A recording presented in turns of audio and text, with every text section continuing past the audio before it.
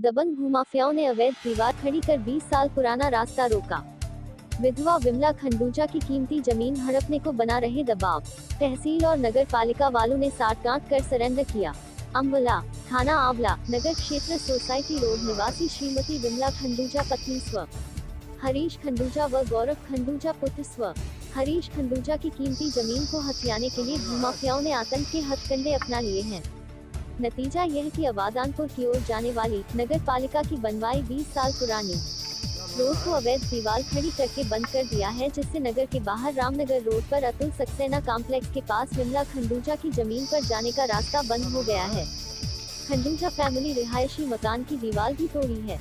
शिकायत की गई है कि भूमाफिया शरद शर्मा, पुत्र गजेंद्र और सूरज शर्मा मुकेश दीक्षित सिद्धार्थ दीक्षित ने अवैध निर्माण कर पालिका की रोड को बंद कर दिया है।